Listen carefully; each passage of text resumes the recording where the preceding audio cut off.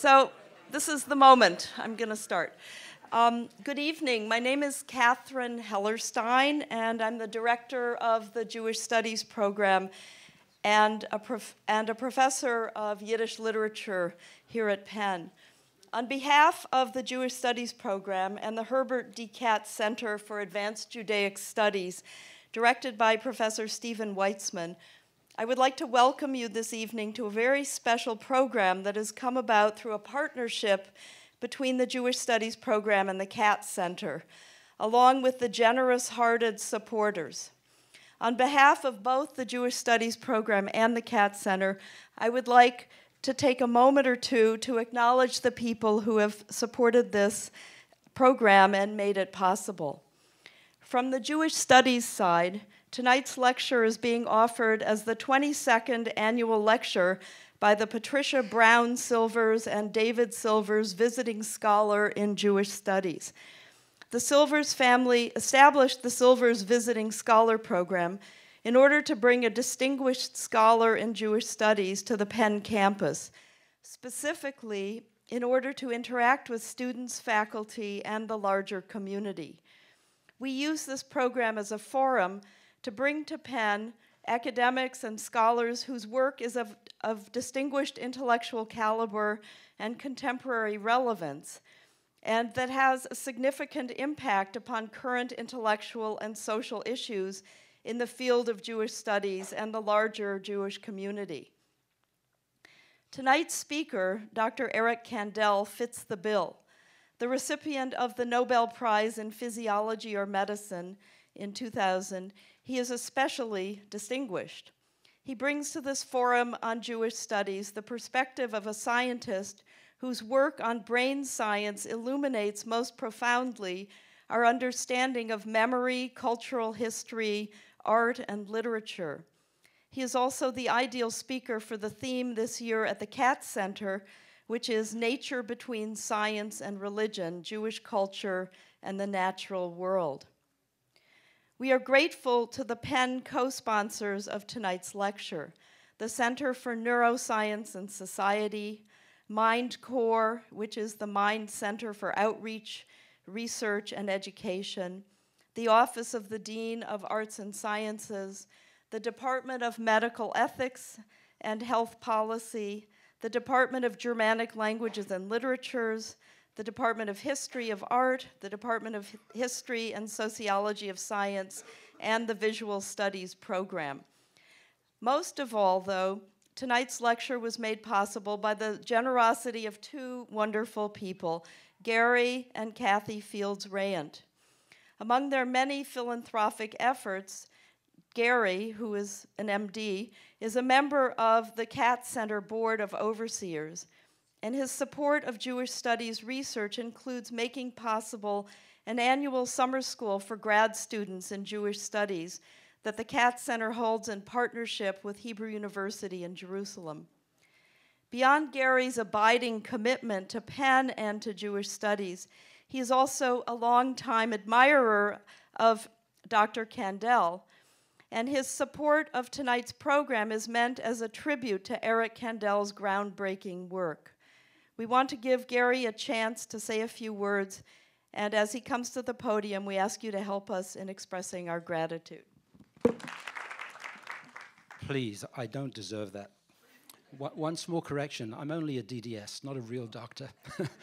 but but uh, I do have a master's in behavioral science, which is part of my interest in, in your work. Uh, that said, I am more than delighted that you're here to honor us. I've been an admirer, follower, if I might say even a Eric Kandel groupie for quite some time. Um, ever since I first saw you interviewed, I think shortly after you received the Nobel, um, I think the interview was about 2001, Charlie Rose, I believe, of blessed memory. Um, and, and I was uh, more than astonished, in fact, mesmerized by your recounting aside from the fact that I believe you played basketball with Kareem Abdul Jabbar, was part of that uh, recounting. um, but I was um, really um, uh, amazed to learn of your stories of Vienna and how Vienna affected you, because it had affected me too. My father was a refugee from Vienna, and your stories were so familiar. And then, as chance would have it, we bumped into each other, or at least I bumped into you, in the lobby of a San Francisco hotel where Kathy and I were going to dinner one night. And I went rushing up to you, and I felt like, I feel like a little kid. Is this you, Dr. Kandel? Is it really you? And I just, we briefly discussed my recounting of, uh, of listening to the, your interview and, and your story and how moved I was by your biography. And you said to me, There's just been a film made of my life, and I will send you a copy. You sent me the copy, and indeed, I sent you a book of yours that you signed for me, The Age of Insight, which is wonderful. I think I must have made you a bestseller by now. I've given it to so many friends and relatives. Um, and it was uh, uh, quite remarkable. I then went home and uh, I played the DVD, and immediately after that, I played my father's DVD. And I was a schmutter, a rag on the floor after watching both of them because the emotions I carried were so intertwined. The feelings that came through of the video of you and my dad were just enormous.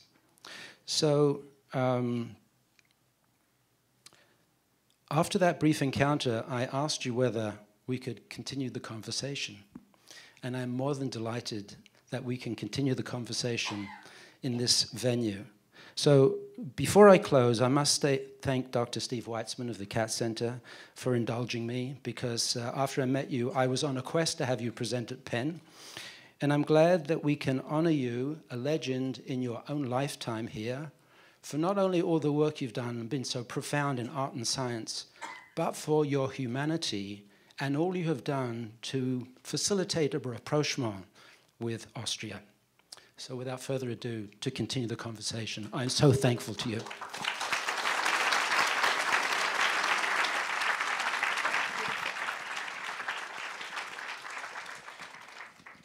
I'm going to take another moment to say that the Jewish Studies program and the Katz Center are proud to have this opportunity to participate in Penn's ongoing efforts to bring an interdisciplinary perspective to bear on brain science, as well as the larger dialogue that the university supports between the different schools and disciplines in the sciences and the humanities.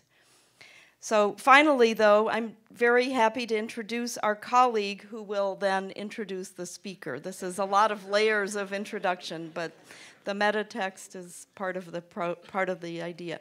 So, Dr. Martha J. Farah, the director of Penn's Center for Neuroscience and Society, is a cognitive neuroscientist who works on problems the, at the interface of neuroscience and society, including the effects of chi- childhood poverty on brain development and the many ways in which neuroscience is changing the ways that we think about ourselves as physical, mental, moral, and spiritual human beings. As director also of, the, of SCAN, or the Social, Cognitive, and Affective Neuroscience Graduate Certificate Program, she teaches and advises grad students and postdoctoral fellows. Thank you very much, Dr. Farah.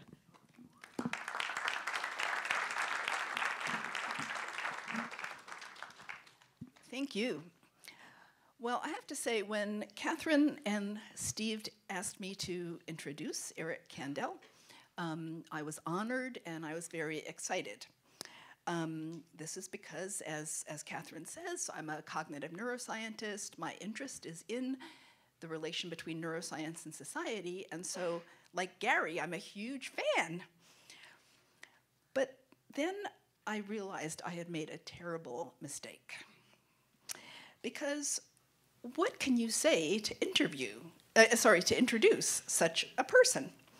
Um, the usual formula, telling the audience, you know, how wonderful and important the person's work is, seems kind of ludicrously obvious when the person in question has won the National Medal of Science, the Lasker Award, the Benjamin Franklin Medal, and of course the Nobel Prize. Okay, so the other thing you can do in introductions is um, give biographical details about the person's career and their life. But for the kind of talk we came to hear tonight, that's also obviously um, a very redundant, bad idea. so let me just give you one uh, picture of how you can think about the role that Eric Kandel and his work has played in the evolution of human knowledge. So I'm gonna I'm gonna talk a little grandiose. I'm gonna refer to Diderot. Bear with me. Um, if you think about the ways in which human knowledge is classified, whether you're talking about the names of university departments or library systems, the Dewey Decimal System, we have categories like life sciences, chemistry, physics, political science, uh, you know, anthropology, sociology, psychology, and we can perceive relations among these different fields. And where Diderot and the Enlightenment comes in is that um, Diderot wrote an encyclopedia of basically everything. And my French accent is so bad, I won't try to tell you the name of it. But he set out to explain how all human knowledge can, at least in principle, be integrated into a seamless whole, an understanding of all phenomena in terms of processes in the natural world. Now, in practice, this has worked out in limited ways. For example, um, biologists can explain how the functions of living beings, of, of cells, uh, work in terms of chemistry. And chemists can explain or you know, can, can point to the physics that underlie the chemical processes. Similarly, if you go higher up to more abstract, complex systems like societies, you can, at least in principle, um, see how uh, societies arise from individual minds and their interactions. But there is, between these kind of high level, you know, multi human uh, systems and, you know, quarks, um, th there's a gap that until recently was, was stubborn.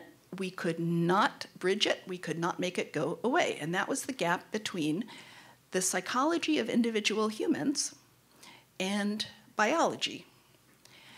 And I, I think it's fair to say that more than any other human being, Eric Kandel has shown us how that gap can be bridged. Starting in the 1950s, he began working on um, phenomena of memory and learning uh, at the single cell level. And he showed how cells, uh, special cells called neurons, with their fancy tricks of signaling each other, can, um, can come to encode memories. So to me, I mean, my hair is standing up on my arms a little as I say this. I mean, this is a huge turning point in the history of human knowledge to, to really be able to point to well confirmed mechanisms by which the human mind and all the higher level systems that arise from it connect to biology and all the more fundamental physical processes that give rise to it. So tonight we're going to hear, I guess, a little bit about that very important science, um, as well as you know yet yet broader um, insights about the human mind and culture. And with that, I will uh, hand the microphone to Eric. I think I have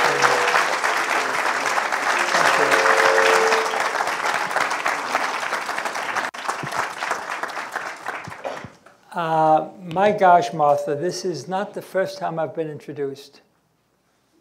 I've been introduced a number of times in my life. This is the nicest introduction I've ever received.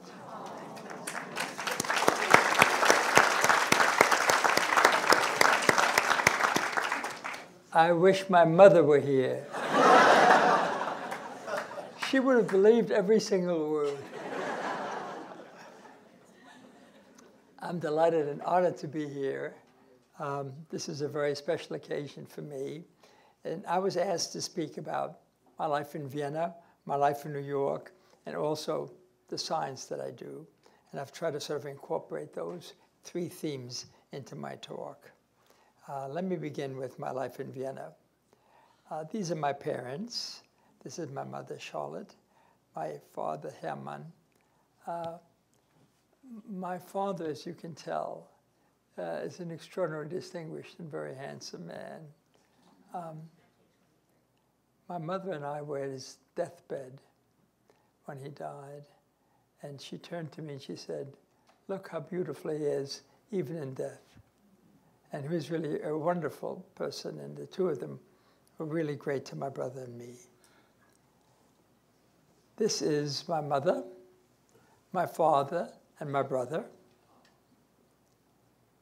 He um, was a remarkable guy. He was five years ahead of me in everything, and he was just a genius. And to follow his footsteps was very difficult. Um, but he was extremely supportive of me. This is me. Neither as bright nor as good looking as my brother, but listen, got to make a living somehow. and here I am at less than a year old. And my father had a small toy store in Vienna on Kutschkergasse, which is still there. And this is my mother and my brother. And this is my brother and me. I don't know how old I was. I was two years old. He must have been seven years old or something like that. Um, and this is me when I was about four years old. And this is when Hitler came into Austria, March 13th, 1938. I'll never forget that. The Viennese, who talked as if they detested him, came out in throngs. Heldenplatz was just filled with people saying, Heil Hitler, welcoming with enormous enthusiasm, beating up the Jews as they went along. They made the Jews scrub the streets there was going to be a plebiscite whether we should stay free, independently, or join with Germany. And that was written on the streets. And this is what the Jews were asked to erase, to scrub out. I came to the United States, and one thing you learn as a Jew in Vienna is how to run. And I was on the Erasmus Hall track team. In fact, I'm embarrassed to tell you, I was co-captain of the Erasmus Hall track team. Uh, my co other co-captain was Ronald Berman, uh, and he and I were not only good friends, but we've remained friends through our lives. He's a much better runner than I am. We won the Penn Relays. This is Ronald Berman. This is myself. This is Mr. Bartell, who is our track coach. This is the same team variant. I then went to Harvard um, and I must tell you an interesting story how I came to typical American story. Um, in my senior year at Erasmus Hall High School, which was wonderful, I went to the Yeshiva Flatbush as an elementary school because I lived initially when I came here with my grandparents and my grandfather, whom I was very fond of, I knew him in Vienna very well, um, thought I didn't have enough of a Jewish education. So he said to me, if I tutor you in Hebrew over the summer, I think you will be accepted to the Yeshiva Flatbush. And I really wasn't terribly interested in going in the Yeshiva Flatbush, but I'd started in PS 217, which is a conventional elementary school in Brooklyn, where I lived in Coney, near uh, Coney Island Avenue.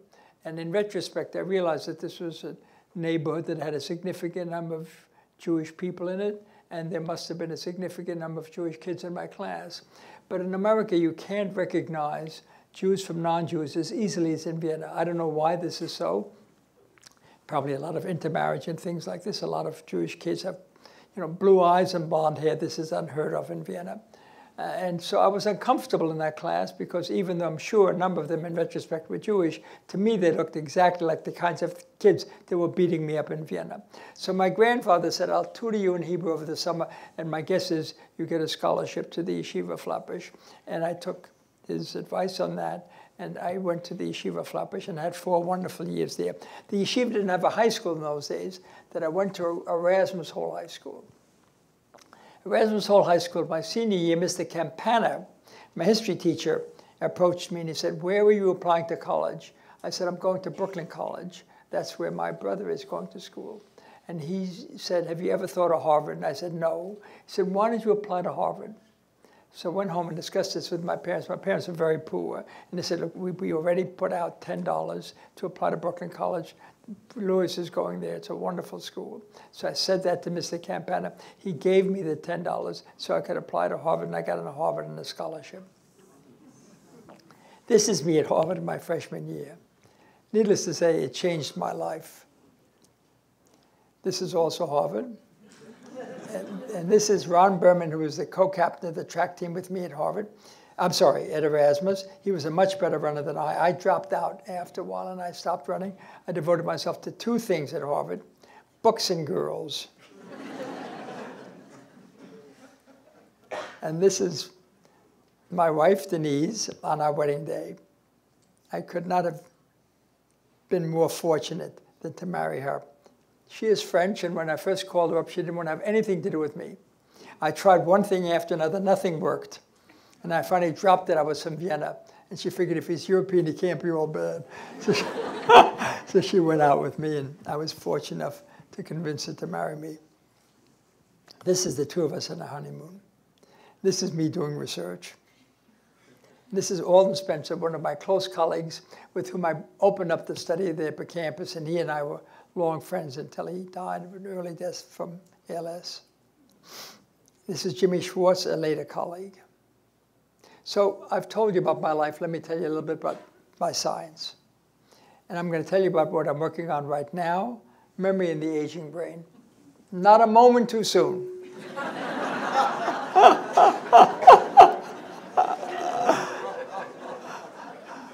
um, now, this was not um, a significant problem until recently, memory in the aging brain. Uh, why would you say that's so? Why has it become a concern in the last 20 or 30 years and not before that? You look so intelligent. What do you think that's so? I'm sorry? People didn't live long enough to get this. You're absolutely, I knew she would know the answer. um, people didn't live long enough. You don't really begin to see these age-related memory losses until the late 60s and early 70s. And uh, in the late 60s and early 70s, one saw classical Alzheimer's disease, but in addition, one saw something that, you know, looked somewhat different. It was a disorder of memory, but it looked somewhat more benign. Uh, and it was called benign senescent forgetfulness. And what became clear that even in the absence of Alzheimer's disease, one could have a disorder of memory, and a significant number of people had that as a function of age. Um, so the question arose, how different are these? Are they really fundamentally different, or is uh, age-related memory loss an early stage of Alzheimer's disease? So Scott Small and a number of people have devoted themselves to it. And the first thing they asked is, are different anatomical regions involved? We knew that Alzheimer's disease uh, begins in the entorhinal cortex and spreads from there. And subsequently, Scott showed that aging begins in the dentate gyrus and does not spread. Um, to explore the anatomical distinctions further, he and I turned to molecular approaches. Um, um, how does osteocalcin come in here? Um, I, I, think this is a mistake in the way I set the slides up. But anyway, um, one of the things that uh, is important in uh, a, the aging brain, age-related memory loss, um, is a hormone released from bone called osteocalcin. Uh, it had been known that it affects anxiety and depression and spatial learning and memory, but one didn't really know how important it was in age-related memory loss. But if one looks at circulating osteocalcin as a function of age, and this is in experimental animals, one finds that osteocalcin decreases with age, and this sort of parallels how age-related memory loss develops. And in wild-type mice, one can show that there's a decline in memory uh, performance. This is a young animal, an aged animal. This is how they do in the memory test. But if you now give this aged animal osteocalcin, it performs as well as a young animal. Are there any molecular defects that are specific to the human dentate gyrus and not to the entorhinal cortex, that is specific to the area involved in age-related memory loss and not specific to Alzheimer's disease? So we used Affymetrix chips where you could look at a lot of genes, and we found that the number of genes were altered in a very specific way in age-related memory loss and not in Alzheimer's disease. But one that particularly popped out was RbAp48. This is aging brain. Turns out that this involves critically an area called the dentate gyrus. And the entorhinal cortex, which is involved in Alzheimer's disease, shows no change in RbAp48. But there's a significant decline both in the messenger RNA and the protein level of RbAp48 in the dentate gyrus. So it turns out, and other studies have shown this, that aging affects selectively the dentate gyrus. Alzheimer's disease begins in the entorhinal cortex, but then it spreads. What is RbAp48? It's part of the switch that converts short-term to long-term memory. So activity activates the cyclic AMP-dependent protein kinase, which phosphorylates a transcription factor called CREB, cyclic AMP response element binding protein, that recruits the cyclic AMP binding protein, and that recruits RbAp48, which initiates gene transcription. Humans allow correlations. In order to look at causality, it's helpful to look at mice or other kinds of experimental animals. And, and we asked, is the level of RbAp48 selectively decreased in the dentate gyrus of mice? And we looked at the dentate gyrus, young mouse, old mouse, See, RbAp48 is decreased. If you look at other areas, it is not altered. Moreover, you can experimentally play with this. You can look at a spatial task, show a mouse two identical objects that spend an equal amount of time there because they see that they're familiar, they go from one to the other. But if you give, if you substitute one of these identical objects with a novel object, the animal is curious will spend more time with a novel object than with a familiar one. Uh, so if you look at a young animal, it spends a significant amount more time with the novel object. An old animal that doesn't have good memory doesn't do that. You can now take a young animal, inhibit RbAp48, and acts like an old animal. Take an old animal and increase RbAp48, it acts like a young animal. So this is really a key molecule in a cascade that's involved in the transition from normal memory to age-related memory loss. Um, in people, it's been shown that dentate gyrus function is disordered. If you image the human brain, you can see in disorder in the dentate gyrus. Does this also occur if you inhibit RbAp48 in the mouse? And the answer is yes, it does. This is the dentate gyrus of the mouse, and this is with RbAp48 inhibited. And this is just the, the quantitative data, dentate gyrus, RbAp48 inhibited, decrease circulation there. The rest of the hippocampus is normal. So to summarize, the clearest evidence so far that age-related memory loss and Alzheimer's disease are distinct uh, diseases are the following. The age of onset, age-related memory loss begins earlier, begins in midlife. Alzheimer's disease begins later anatomical localization, age-related memory loss, dentate gyrus. Alzheimer's disease begins in the entorhinal cortex and then spreads. Molecular defects. In humans, there's a linear decrease in RbAp48, both messenger RNA and protein. Old mice have a decrease in RbAp48. Young mice that have a reduction in RbAp48 that is artificially produced show memory deficits. This is in contrast to Alzheimer's disease, which is prominent not in the dentate gyrus but in the entorhinal cortex. There's no abnormality in RbAp48. There's an A-beta toxicity. Does the aging body act on the aging brain? Are there hormonal factors that contribute to hippocampal function observed with cognitive aging? Might exercise help overcome these blood-borne insufficiencies? So there's a surprise that Gerard Karsenty came up with he showed that bone, new bone, is an endocrine gland. It releases a hormone called osteocalcin. And osteocalcin acts on the pancreas, on the testes, on muscle, on the liver, and on various other glands, as well as on the brain.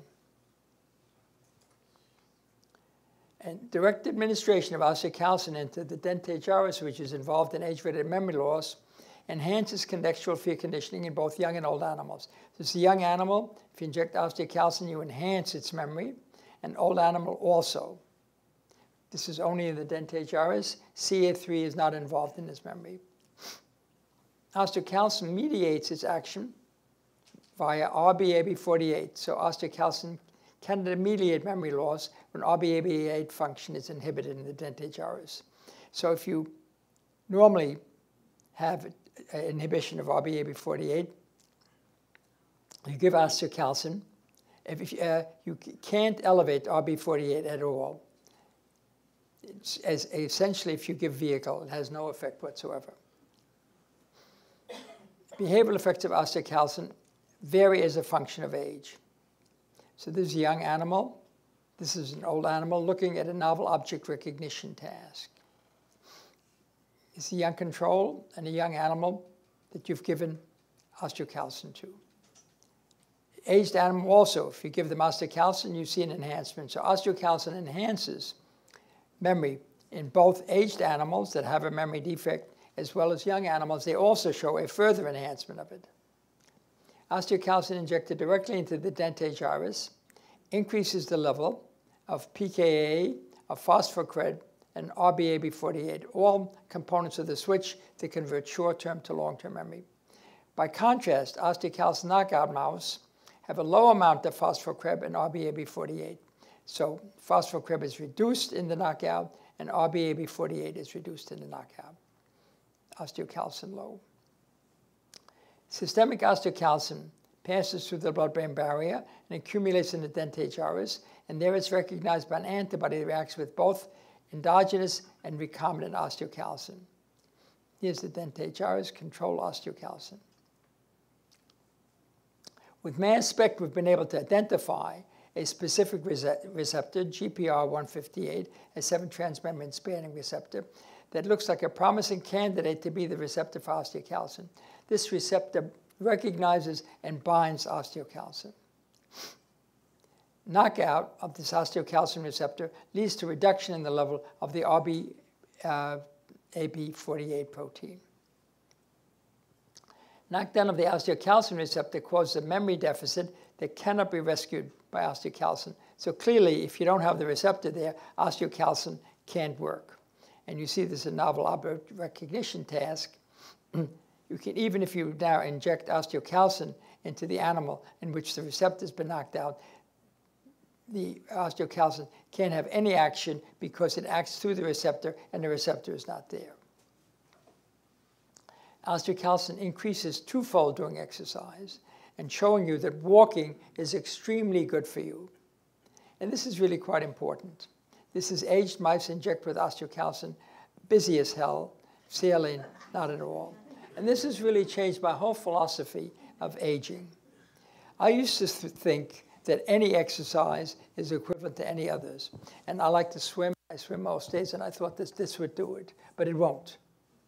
It's very good. It's very good from a cardiovascular point of view. And it's obviously much more beneficial to have any exercise than have no exercise. But in terms of the age-related effects, there's nothing like walking. Walking two miles a day is practically prerequisite for people over 65 or 70 because it allows for the release, a significant release of osteocalcin. And osteocalcin seems to be a really important protective factor for age-related memory loss.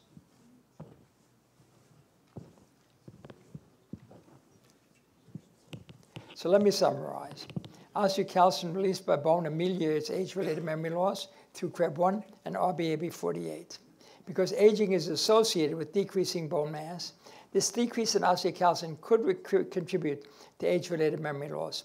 Conversely, this might explain the beneficial effect on cognition in the age of vigorous exercise, which builds bone mass. The reversibility of age-related memory loss strengthens the idea that age-related memory loss and Alzheimer's disease are distinct diseases. Age-related memory loss is not an early phase of Alzheimer's disease, it's a separate process. A sound body assures a sound mind. So let me summarize. Age-related memory loss and Alzheimer's disease are distinct diseases. Age-related memory loss begins earlier. There's a linear progression. Alzheimer's disease begins later. Age-related memory loss begins and ends in the dentate gyrus. It doesn't propagate beyond that. Alzheimer's disease begins in the entorhinal cortex, but propagates from there. The molecular defect, decreasing RbAp48 and cyclic AMP signaling, is the molecular defect in age-related memory loss. There's no or minor loss of nerve cells. In Alzheimer's disease, there's a classical A-beta toxicity, a protein folding disorder. There's a major loss of nerve cells. So what is the treatment for age-related memory loss? To prevent the onset or progression of disease, one, regular physical exercise to increase osteocalcin, and particularly walking. Good diet, low in animal fats, control of high blood pressure and diabetes, cognitive challenges like new tasks, and social involvement. So the key is continue to work and to learn as physicians, scientists, and to enjoy your lives. Thank you very much.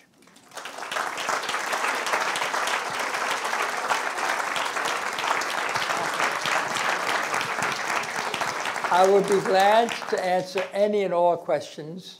I would be glad to try to answer any and all questions that you may have. So please begin. Madam. I have a microphone. I to ask about early onset Alzheimer's, and is that strictly in the Alzheimer's category, or is there any kind of overlap there? One thinks at the moment. Because of the age, early age, yeah. One thinks at the moment that this is a uh, particularly um, genetically determined form of Alzheimer's disease. There is a genetic form of Alzheimer's disease which you can see trace in families that always begins earlier than the conventional Alzheimer's disease. So it's likely to be that form of Alzheimer's disease. But by chance, even non-genetic forms will occasionally occur early. Madam. So you're talking about walking, Yeah. and uh, they talk about um, different types of walking, whether you should just do slow or whether you should mix it up. You you kind of fast walk and then slow walk, or you know, uh, do you have? Can you talk a little bit more about what you mean by walking two miles, how we should do it, I- and heart rate? You know, get it up to a certain level with fast walking or whatever you think. Most of those studies are not definitive at this point. I think the only thing one knows is that walking two miles a day is extremely beneficial for you. Now, obviously, walking a little bit faster is a good thing for you in general, but I think the key thing is to walk.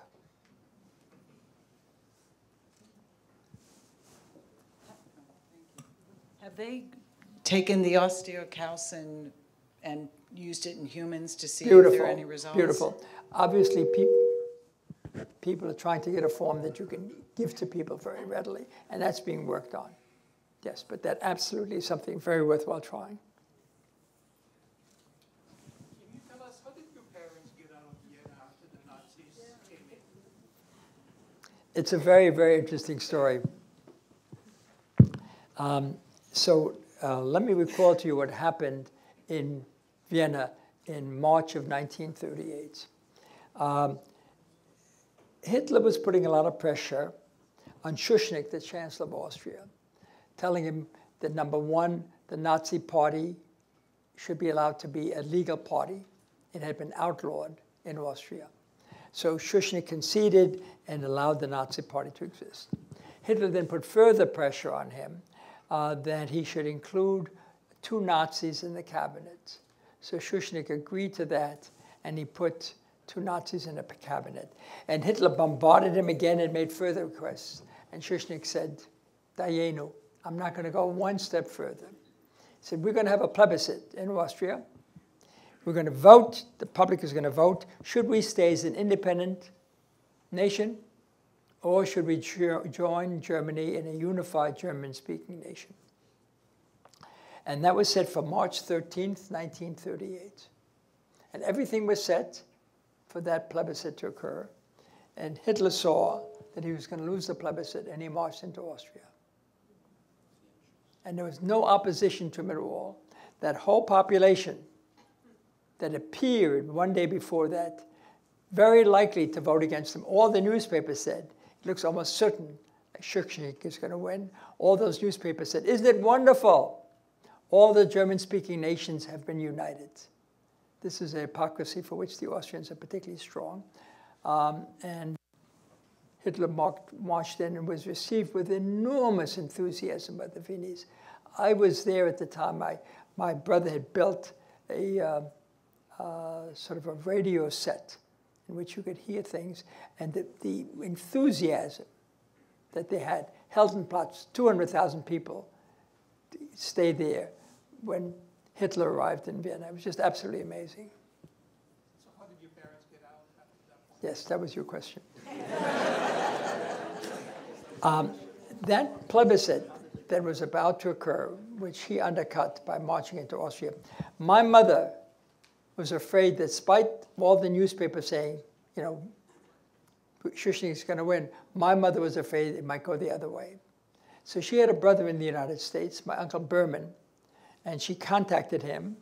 The, she went to the embassy. The embassy told her, you need an affidavit from somebody in the United States who has the resources to support you. She had a brother who could do that. So she wrote to my uncle Berman, and he provided all the affidavits we needed in order to get out, and he made it possible for us to come here. Yeah.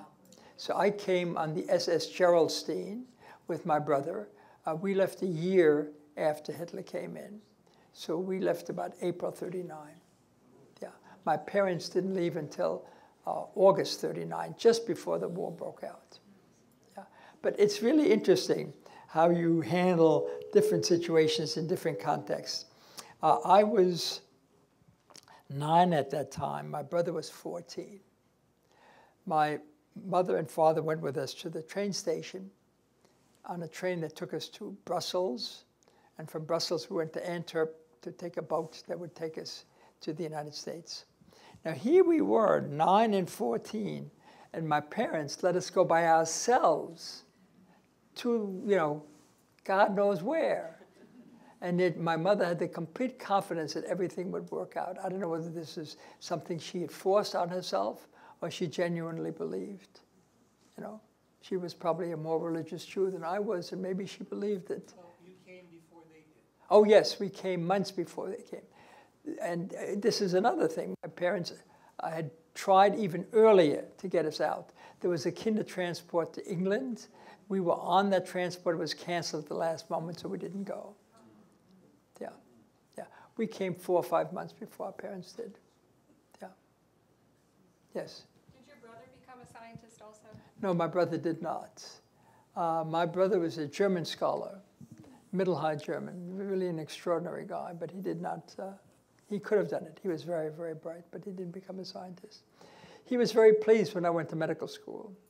But you know, this is no longer true, but in the Jewish profession, a son of doctor made up for all the sins in the world.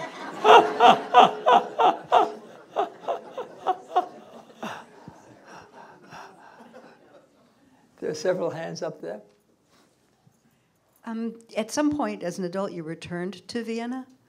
Oh, I've returned several times to Vienna. Can you talk a little bit about your your initial encounters? Um, it's very difficult for me to talk about that. Um, so, um, how can I put it? Um, when I won the Nobel Prize, um, the phone rang off the hook. Um, a lot of the calls were from Vienna. Isn't it wonderful to have a Nobel Prize, a Viennese Nobel Prize? And I said, I think you've got this wrong. This is an American Nobel Prize, an American Jewish Nobel Prize. That's what it me. so the president of Austria, Heinz Fischer, writes me a letter saying, how can we honor you? I said, I don't need any honors. I've got more honors than I deserve. Would like to have a symposium at the University of Vienna on the response of Austria to National Socialism. Wow. Wow. wow. This is published. Uh, they allowed me to invite whomever I wanted. I asked Fritz Stern, who's a major German historian, to help me. And we compared the response of Austria to other countries in Europe. Uh, and it was really extremely instructive, not only for us, but for the University of Vienna, people who went to the, um, to the symposium, and to the book that ultimately came out, which I think was quite influential. Um, so since then, I've had some continued contact with, uh, with Austria. My wife and I are going there in a week or so because uh, they're putting a special plaque on the apartment house that my parents and I lived in. Why all of them? Dayenu, I mean, I'm pleased they're doing it. But why after, you know, more than 50 years, they've woken up to the fact that maybe they should, you know, recognize this in some ways. Yeah.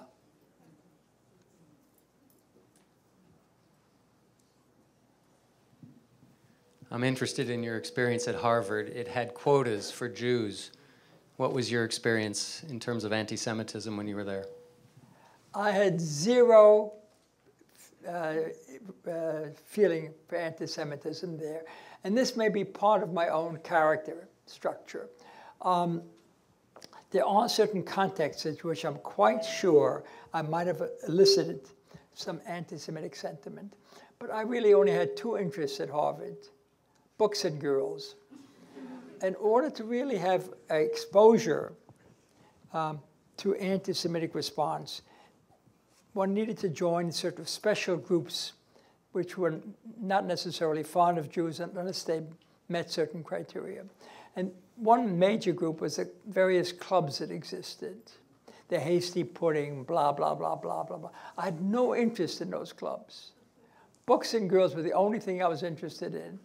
And, uh, you know, uh, but people who wanted to join clubs, particularly some of the more elite clubs, did have difficulty if they were Jews, unless they were great athletes or they did something else. It wasn't the Jews who were completely excluded, but the criteria for them was completely different than from anybody else. Sir. So, you've written a lot about memory and studied memory. Could you comment on the mass amnesia of the Austrian people now they're drifting to the right again? This, this mass amnesia is a complete lie. They know damn well what happened. They just pretend nothing happened. They were terrible. People describe that the anti Semitic outbursts uh, when Hitler came into Austria were much more vicious than anything that happened in Germany. And in Kristallnacht, the viciousness, and we were there, we experienced it, that the Austrians showed toward the Jews was much worse than was happening in Germany. There is more anti-Semitism in Austria, and probably even now. Germany is almost impeccable now, the way it's dealt with its past. Austria, for the longest time, we were victims. We did nothing. I was there. They were not victims in the slightest. They welcomed Hitler enthusiastically. Yeah. I'm sorry. She's coming to you, so. Uh, thanks so much. Uh, I wanted to ask a bit about the science. Um, sure. You uh, mentioned earlier that with the osteocalcin, you um, had previously believed that like any type of exercise would be beneficial for health and for aging, but um, these findings had lead you to, to not believe that about swimming. And I wanted to ask, um, is most of that based on evidence from mice? Yes. As I might think that like Yes. with mice, swimming might not be a leisurely exercise. No, no, no, no, no, no, like, no, no, no, no, no. It might be No, traumatic. No, no, no, no. You know. No, the osteocalcin release with exercise comes importantly from mice. The swimming has nothing to do with it. I swim most days, and I thought that was sufficient. I now feel very important, and when you get to be my age, walking is extremely important. You can all do all the swimming you want. It's very good from a cardiovascular point of view. But in terms of getting the benefits that osteocalcin gives you, walking is significantly better. Could that at all? Could, that at all be driven by the fact that there might be stress hormone release or other things during swimming in mice because it's a it's a life threatening situation, whereas like running on a wheel is leisure. right. I don't think this is the issue. I really think that there's something different to walking than to swimming. Yeah. I'm not saying that swimming is bad. I'm just saying that if you want osteocalcin release, which we know is important, walking is what you got to do. Um, my question just looks more at um, how did you get involved in, or how did you even think to start studying the brain and um, like researching memory? How did I get involved in the brain and in memory? Okay, so I went to Harvard. Um, I went to Harvard and I majored in uh, history and literature, and I wanted to understand what happened in Europe in 1938 39. You know, how could intelligent, interesting people all of a sudden become so vicious? And I wrote my honors dissertation on response to National Socialism of three German writers, Zuckmayer, Carossa, and Jünger, who had three different positions on the political spectrum. One was an anti Nazi, one was a pro Nazi, and one was in between. And um, while I was a junior at Harvard, I fell in love with a wonderful woman whom we ended up not marrying, but I, we had a very nice relationship, uh, who influenced me a great deal. She was the daughter of a very famous psychoanalyst. And he said to me, Eric, if you want to understand the human mind, if you want to understand what happened to you and to other people, you're not going to do it through intellectual history. You've got to study the mind. You've got to do psychoanalysis. And he was a major psychoanalyst. So I began to read Freud, and Freud is, you know, one of the most seductive people in the world. So I said, gee, this is really interesting. And I had never thought of going to medical school. I thought medical school was a horror. But nonetheless, in very short notice, I took the pre-med courses, and I was accepted in medical school on the proviso that I take organic chemistry before I get into medical school. So I went to summer school between graduating from Harvard and starting NYU Medical School. So I had all my requirements complete. And I went with the idea of, you know, becoming a psychoanalyst. And all my summers I worked in psychiatric hospitals and blah, blah, blah. I underwent an analysis. And then in my senior year, I thought that even a psychoanalyst should know something about the brain. Amazing insight. The most profound insight of my life. Uh, so um, I took an elective in brain science uh, with Harry Grundfest at Columbia. And I'd never worked in a lab before. And I said, this is fantastic. You work with your own hands, you set up experiments, you talk to other people, you get feedback. I've never had an experience like this. And by that time, I was dating Denise, the woman I would ultimately marry. And I said to her, you know, I could see doing this for the rest of my life. But uh, it's unrealistic. You don't have any money, and I don't have any money. We want to get married. I've got to go to private practice. And she said, money is of no significance. In the subsequent 61 years of our marriage, he's never repeated that.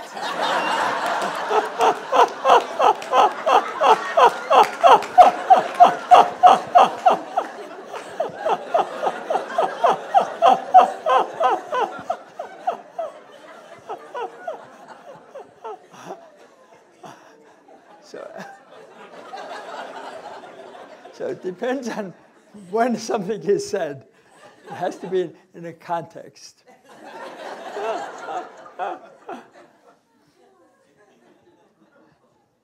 Sir. Oh, over here? Oh, sorry. Um, I just had another science question for your knockout of RBP, RbAp48. Was it a whole body knockout or just a neuronal knockout? Neuronal knockout. Okay, so if you knocked it out, would that have cell cycle effects like the mouse wouldn't? Sir. Your, your book that I mentioned before, The Age of Insight, Yes. is extraordinary. Could you talk somewhat about... You're n- not only very distinguished, but you're very intelligent. My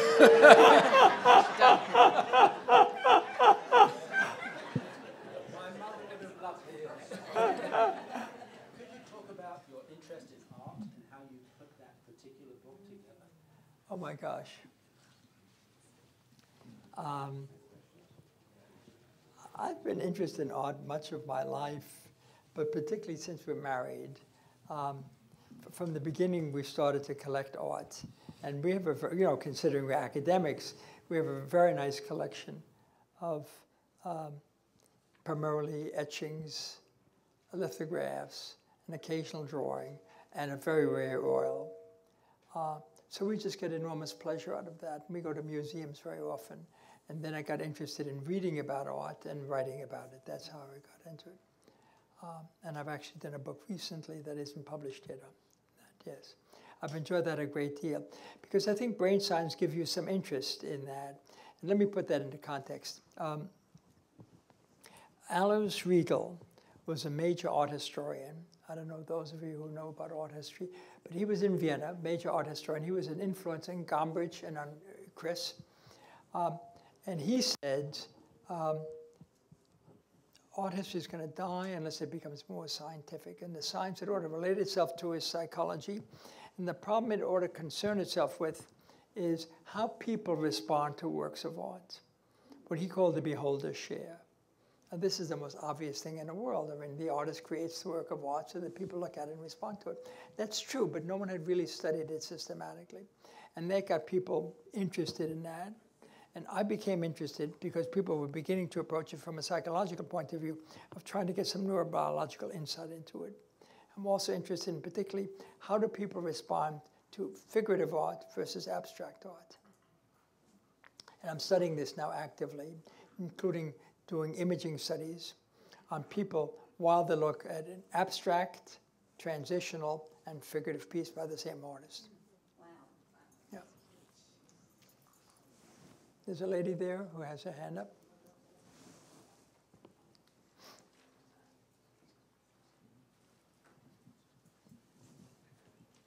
So I asked you about walking before. Now I'm going to ask you about running. right. So can, there's, there's also a professor at uh, um, uh, Harvard who believes that you uh, that people should jump, and that improves uh, bone density. That may very well be so. So, what do you think about running? or you know okay, cross I think running is better than walking, probably because it also gives you more cardiovascular exercise. But I'm speaking about an age group in which running is less likely on a statistical basis. Uh, I mean, I used to be, uh, I was co-captain of the Erasmus Hall track team, but I'm not very good at running these days.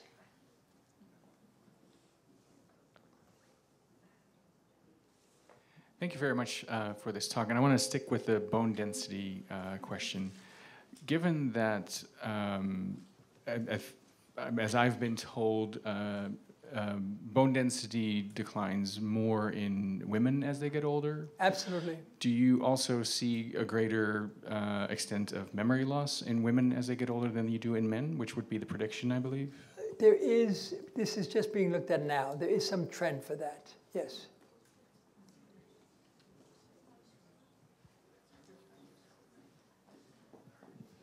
You're getting some workout, kid. so a lot, a lot of osteocalcin there. Walter the Good. Sir. So please. nearly uh, every department here at the University of Pennsylvania is glad to put their name on this lecture, and. Um, and the lead, uh, the lead. Is, is this mine or yours? No one knows I'm here, so it's not for me. Um, but the lead, the, the lead academic uh, centers that are, uh, that, that, are hosting us are the uh, Jewish Studies and the Katz Center for Advanced Judaic Studies. You're cl clearly a Jewish man, and so it's appropriate that they are leading this effort. But is there something Jewish in the work that you've done, or Jewish that's motivating um, that's motivating you? Um, look, I'm Jewish. I try to hide it from you until this moment, but I'm Jewish. Uh, no. Um, I think Jews in general uh, tend to have sort of intellectual tendencies, and the kind of thing I've done, many people have done. Uh, so I think it's more common to have, you know, Jewish people do academic work of this kind uh, than other religions, perhaps. But uh, I don't see this as a direct connection to uh, to Judaism. Yeah, yeah. What is amazing is um, how successful Jews are scholars. Do you know what percentage of Nobel prizes have gone to Jews? Does anybody know? What did you say? 60? No.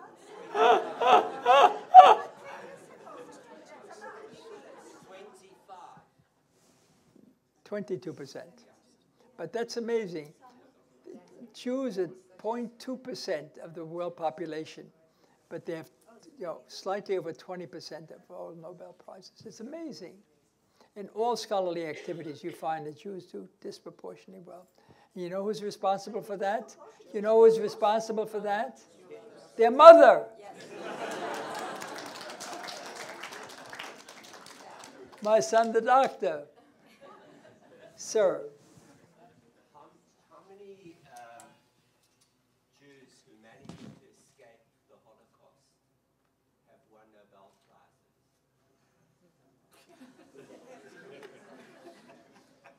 I don't know. I mean, the number of people, the number of Jews who've won Nobel Prizes is amazing.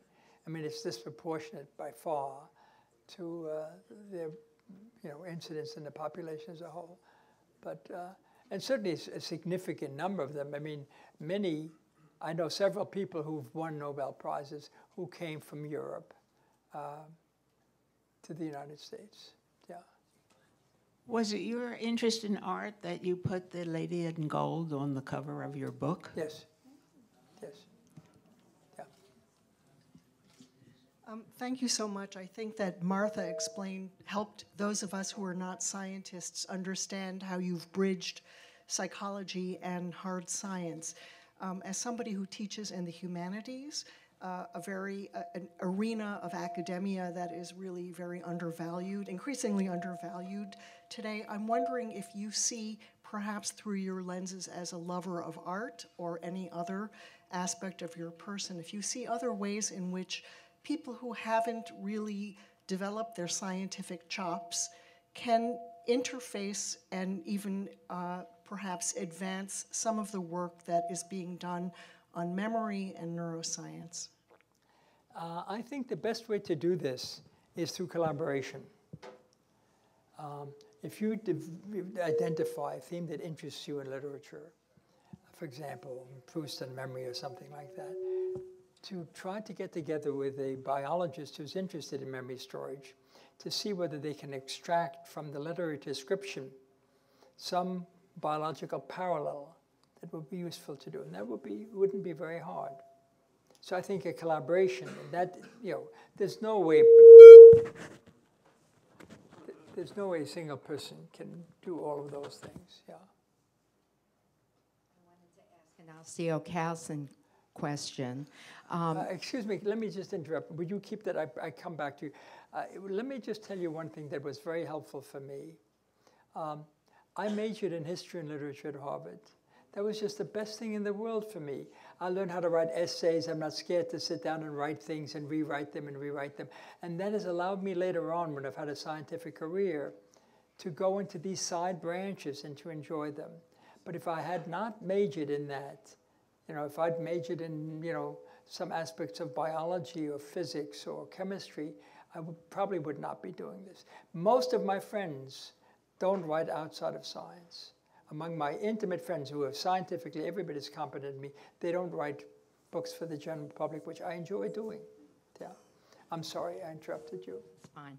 Um, is osteocalcin um, associated with bone density so that yes, taking estrogen, which preserves bone density, does that increase osteocalcin? I don't know as a fact, but my guess is it does. But you can ask your gynecologist about that. Endocrinologist, I'm sorry.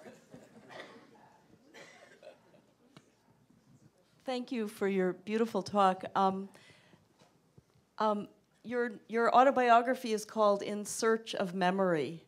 And um, the story that you tell of your own life and your scientific career is actually also a story of history and culture. And I see a strong connection between your work on the biology uh, of and physiology of memory in the brain and Jewish culture and Jewish history, because Zachor is a memory to remember is is central to the narrative of uh, Jewish history and Jewish culture. And so I, I don't know exactly how to make the connection explicitly. That's maybe the topic for another conversation. But I do see that there are, when I'm reading your autobiography and learning in the most eloquent, clear prose I could imagine about how the, the different parts of the neuron um, communicate with each other, um, I feel that there's a connection between that and the, uh, the communication over centuries and eons between individual Jews and larger Jewish communal and historical and cultural issues? Um, I'm very Jewish. Uh, and I've often said to myself and to occasional friends that um, I really regret on some level, uh, and I'll explain in a moment, uh, that I didn't go to Israel and came to the United States. Even though my life in the United States couldn't be more blessed, I would never have been able to do the science. I would never probably have enjoyed life as much as I've enjoyed here. But to participate in the building of a Jewish state must be something fantastic. And to pass up that opportunity is a great loss for me. And uh, so I, you know, think that having a Jewish state would be a wonderful thing to participate in. And, you know, I didn't do it, but I'm aware of the fact that there would have been an alternate way to go. Yeah.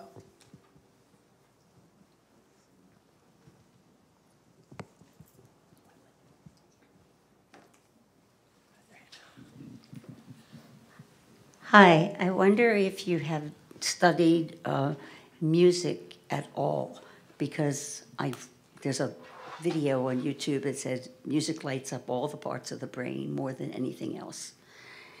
Uh, and I'm most interested, and I'm asking this question because of uh, memory in music. It boggles my mind that a pianist can sit at a piano and play for two hours from total memory, and there's thousands and thousands of notes.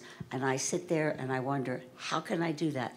I play the piano, but I cannot memorize one measure. So I'm intrigued, and I wondered if you've studied music and the brain. I've not studied music and the brain. It would be a wonderful thing to study. Um, but I have seen people play without any notes for an hour or more at the piano.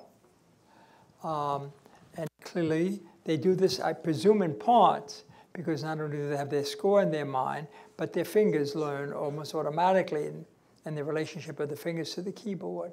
It's a special skill, but these people that do it started early and have developed this as a very special skill. It's like you speak English. It is no difficulty. You don't have to think about the grammar. It comes automatically to you. But if you were to start right now learning Esperanto, you'd have a great deal of difficulty.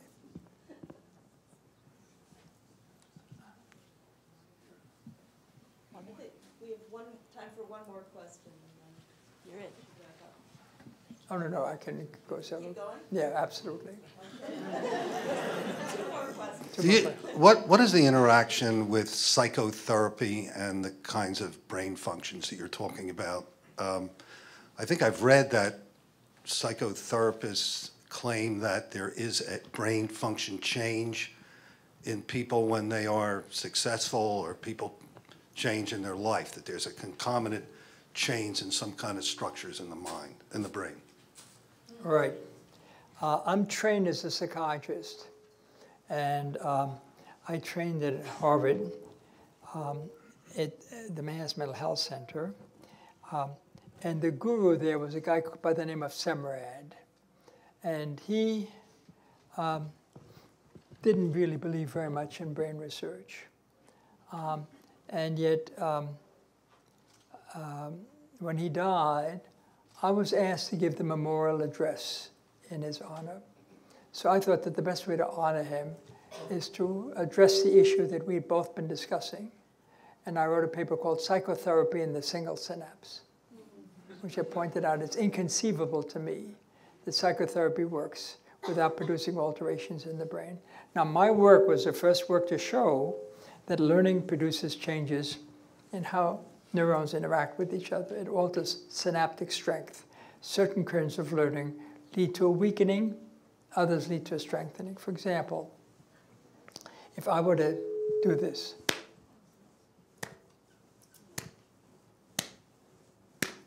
at first it would bother you and it would excite you and it would arouse you, but if I kept on doing it, you learn to ignore it. That's called habituation. So when you habituate, connections get weaker. I arouse you, connections get stronger. So connections change in all ways in the brain. And th this is very important to realize that. Uh, and people are now studying this in a variety of learning processes. And this is probably happening to some degree in psychotherapy, that you strengthen certain connections and you alter others. And people have now shown that, for example, if you're depressed and you respond effectively to psychotherapy, as you do with antidepressants, you actually see anatomical changes in the brain. There's an abnormality to begin with, that abnormality changes as a result of that. So these are clearly all brain processes.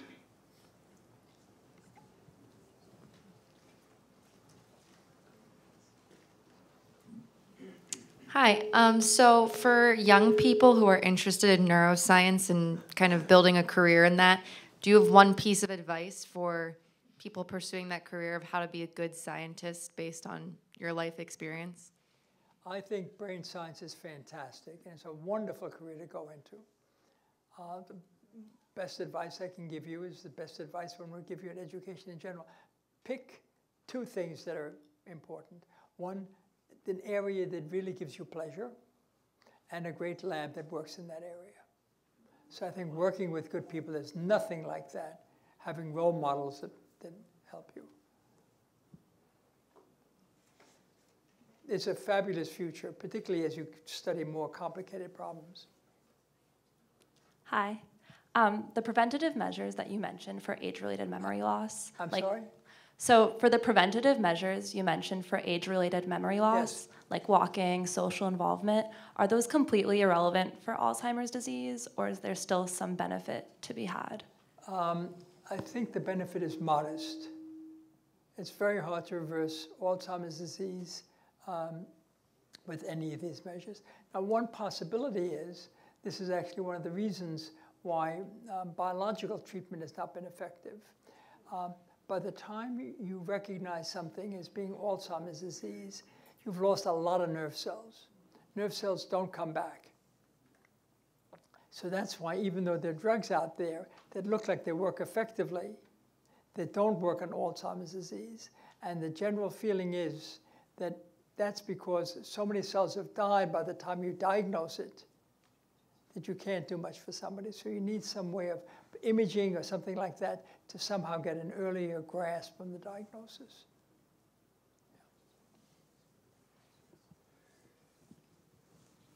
Hi, uh, you mentioned the importance of mother um, to your success. So I wonder what's your like the, the most value your mother um, like teach you when you in your childhood. I'm sorry? The most value the, the ma- values your mother teach you when you in your.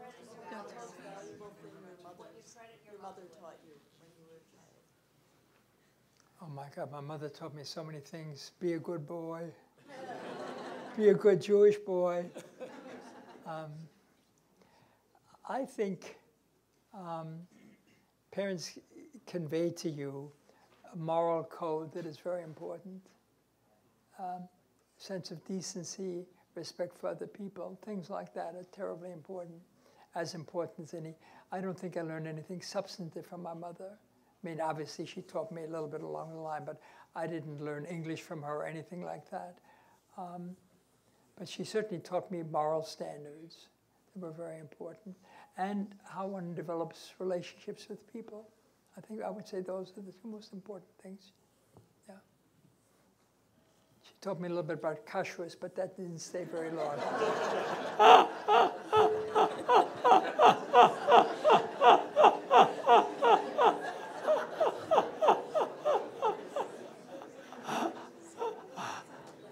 uh, thank you so much for your inspiring talk. Uh, I'm just thinking about the autobiographical memory, like when people get older and uh, you know we talk more things about our the, the past. So it seems the autobiographical memory probably is more and more stronger. I'm just wondering if there is any connection between the you know memory, the loss of memory in this process with that. That's interesting. I would have thought that that is less of a alteration in the persistence of certain memories uh, and the loss of others as it is narcissism. uh, people do become very much involved in themselves. And as they age, they want to make sure that it's not been a waste of time, that their, con- their contribution. So, you know, one has a little tendency to build that up a little bit. Yeah. I, I think, oh, did I turn it off? I don't know. I, I think that this is a perfect moment to pull things together and thank Dr. Eric Kandel.